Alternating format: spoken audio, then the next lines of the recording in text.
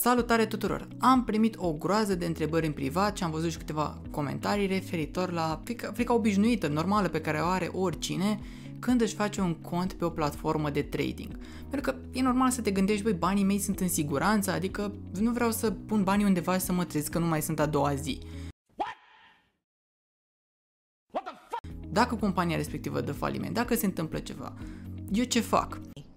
Good question. Și asta mi-a, întrebările astea mi le-am pus și eu. Și știu că i-am recomandat persoane care m-au întrebat în comentarii, pentru că astfel putea să vedeți toți ce am făcut eu, ce fac eu recurent ca să îmi protejez contul. Dar până să ajungem acolo, vreau să vorbim despre siguranța pe care ți oferă platforma. În primul rând, toate platformele de trading trebuie să fie certificate, autorizate și așa mai departe. Există mai multe tipuri de autorizații. Sigur ați auzit, sau sper că ați auzit de FCA, FCA, care este practic o entitate independentă din UK și pe baza acestei autorizații FCA, fiecare platformă are o garanție, o garanție de 20.000 de euro. În cazul în care platforma dă faliment, în cazul în care se întâmplă ceva cu, până la urmă și cu colaboratorii lor, pentru că și platformele au colaboratori, până la urmă platforma nu ia direct de la companie acțiuni. Și dacă se întâmplă ceva cu relația dintre acest colaborator și platformă și așa mai departe, în limita 20.000 de euro ai garanție că, nu știu, dacă se, orice se întâmplă, banii ai ei. Dacă tu ai mai puțin, logic, ei mai puțin, o să-ți dea 20.000 de euro când tu ai 10.000 în cont.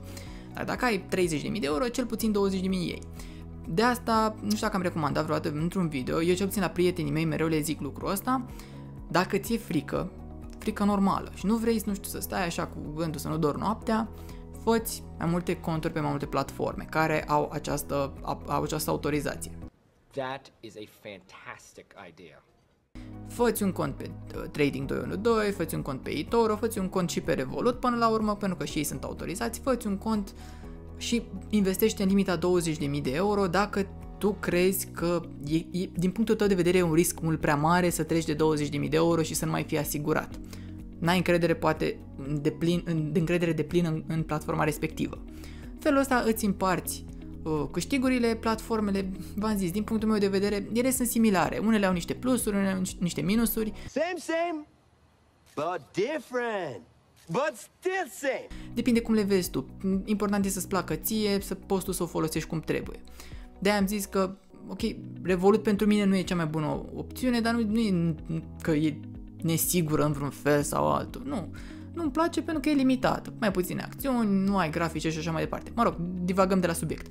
Deci ideea e că dacă vrei să fii asigurat în privința asta, poți să-ți faci mai multe conturi. Dacă ai de gând să investești, nu știu, 100 de mii de dolari, nu o să bagi 100 de mii poate, sau nu vrei să bagi 100 de mii într-o singură platformă, bagăm 4 și cel mai rău caz să pice toate 4 să pierzi câte 5.000 de la fiecare. În principiu, pentru 100 de mii de euro, eu zic că ești asigurat. Ooh, that was close. Dar din nou, în situația în care se întâmplă ceva cu platforma, uh, nu știu, compania care deține platforma practic de faliment, uh, contractele cu uh, cei cu care colaborează și ei nu mai sunt bune, nu, nu poate să-ți onoreze banii pe care, mă rog, acțiunile pe care le deține numele tău și așa mai departe. Deci ești asigurat până la 85.000 de lire și 20.000 de euro prin FCA și FSCS. În privința asta eu zic că suntem destul de ok. Din nou, dacă vreți și mai multă siguranță, vă faceți mai multe conturi pe mai multe platforme, disipați un pic riscul în privința asta. Dacă chiar credeți că se întâmplă ceva, uite cum mi-a atras cineva atenția că mă rog, și știam de lucrul ăsta, Robinhood a avut o problemă de securitate, au dispărut bani și așa mai departe. Știți bine că s-a întâmplat asta destul de mult cu cripto. Foarte multe platforme de cripto au avut probleme, mulți au pierdut bani, nu au recuperat nici până acum. Asta e. Dar platformele de trading, din, din, nou, din punctul meu de vedere, sunt mult mai sigure decât platformele de cripto. Uh, ele acum și conțin cripto, deci ești asigurat pe mai multe planuri. Bun, uh, mai departe.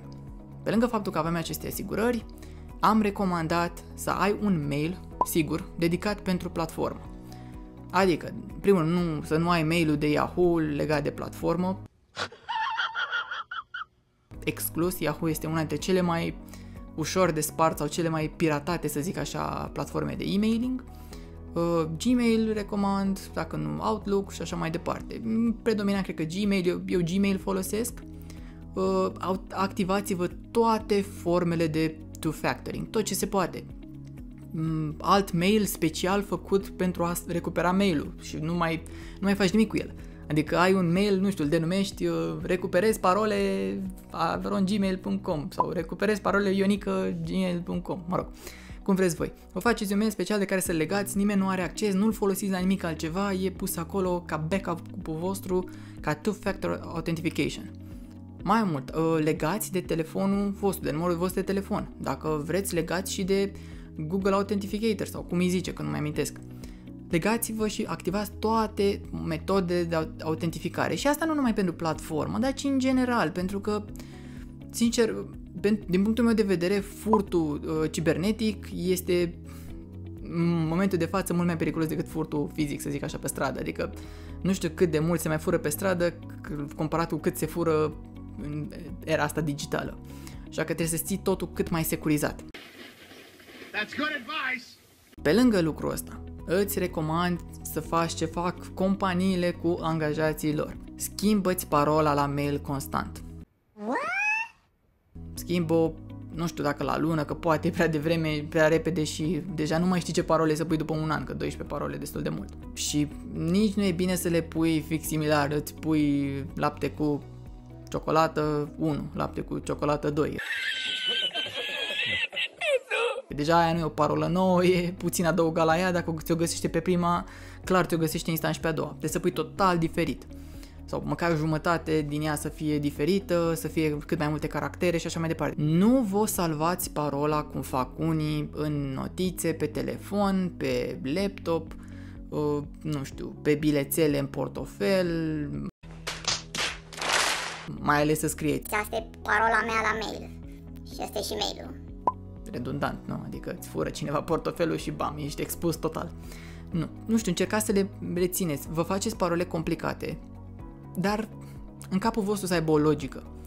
Nu știu, era la un moment dat, vă și prin filme și prin seriale, să faci așa un mind palace, un palat al minții tale, nu știu, te gândești cum ai în cameră dau un exemplu strict. Am televizorul pus pe perete, le din față, geamul în stânga și nu știu ce. Îți pui și tu combinații de parole care să-ți sugereze ceva familiar, e ușor de reținut, se poate întâmpla orice și tu, tu ți amintești. În ideea asta, prieteni din copilărie, dar nu le pui fix numele, acronime uh, și așa mai departe. Faci niște combinații din astea care pentru tine să aibă o semnătate, dar să fie atât de specifice, atât de personale încât nimeni să nu-și dea seama.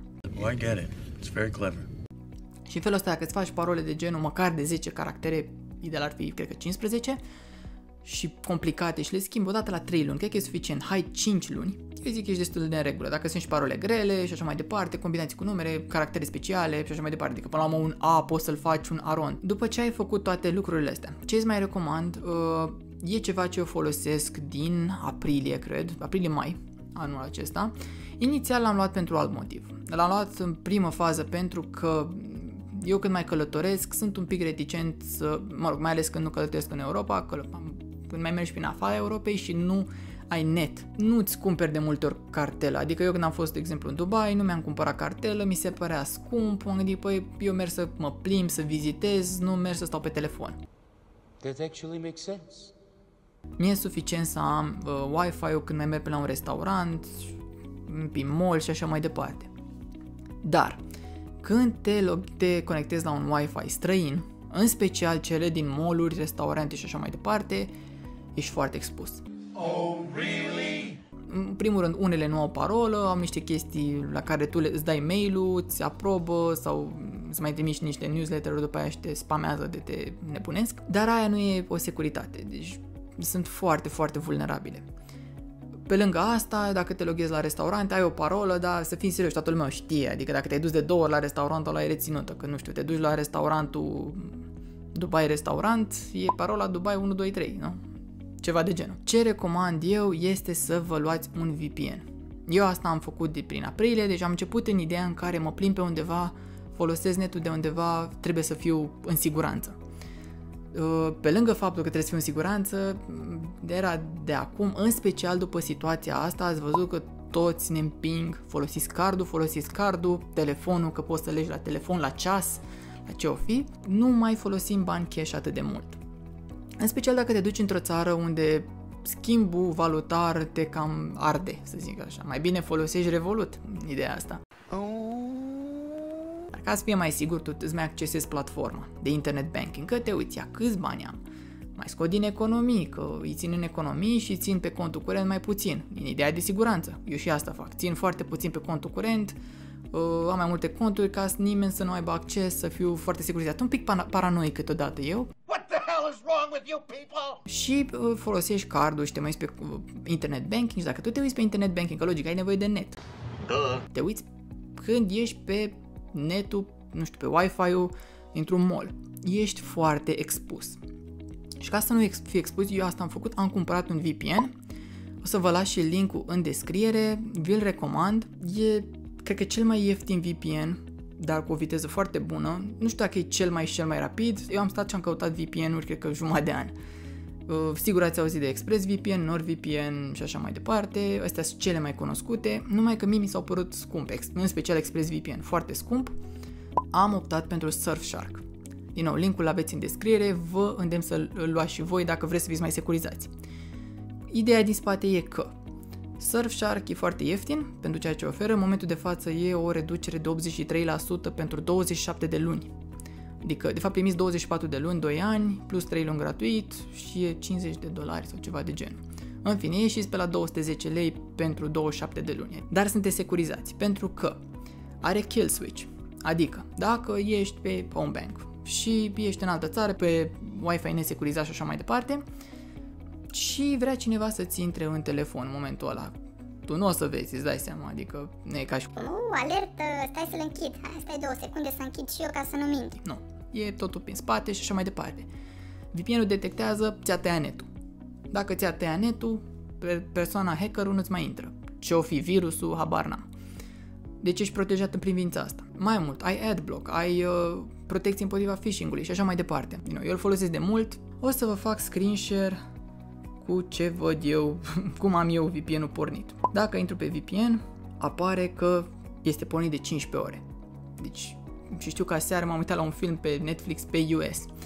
Pentru că asta, asta e un alt beneficiu, ai acces la Netflix și așa mai departe în multe țări. Ai acces în UK, Germania, Franța, US, Canada, Japonia, dacă chiar vrei să te uiți. Are și momente când mai ai lag, dar oricum ai atât de multe servere la dispoziție, așa că și asta e un beneficiu, te poți uita la mult mai multe cu Netflix, cu abonamentul tău la Netflix pe care îl ai. Nu vă fie frică cu platformele. Nu uitați, aveți asigurare FSCS, aveți asigurare FCA, deci 85.000 de lire plus 20.000 de lire.